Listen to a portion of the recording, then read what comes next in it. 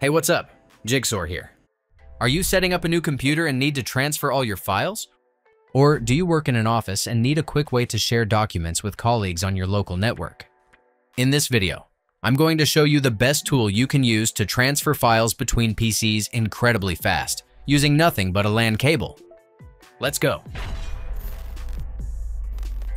Before, I used to back up my old computer's data to an external hard drive and then manually move it to my new PC.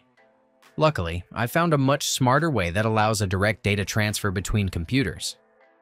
Not only does this save a lot of time, but it also ensures that only the files, programs, and settings you want are moved, reducing the chance of losing data or having to set up everything from scratch.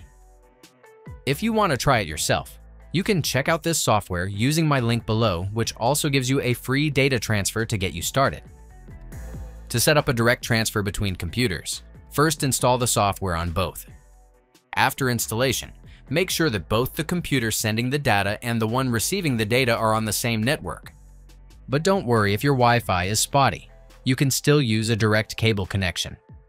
The software works with USB-C or Ethernet cables, which are often faster and more reliable.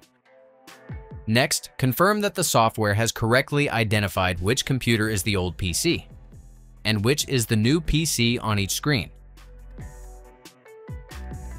From the target computer, click Transfer Directly and select Network if you're transferring wirelessly or Cable if you prefer a wired connection.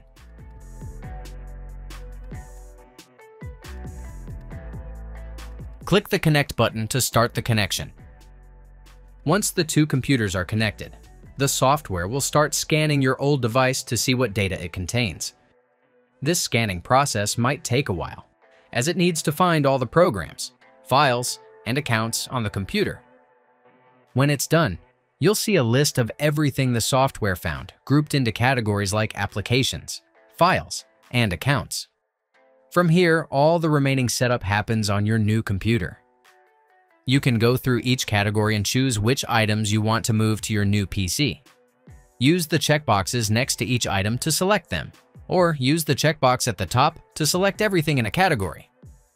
Before you start the transfer, go to the migration settings where you can uncheck folders you don't want to move, or choose whether to replace, skip, or keep duplicate files. After you've set everything up, click the transfer button to begin moving the data. If you're using a slow network connection, the connection may drop a few times. In this case, switching between Wi-Fi and a wired connection will automatically reconnect it.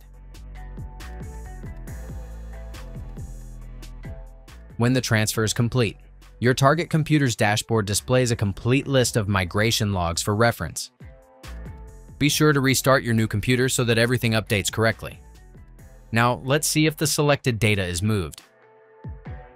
Alright, the files are now in the correct folders, and the account I selected was successfully added to my new computer.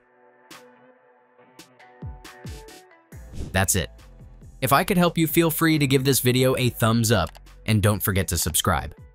If you have any questions about the video, or want me to create a tutorial about another topic, leave a comment below. See you next time. Bye.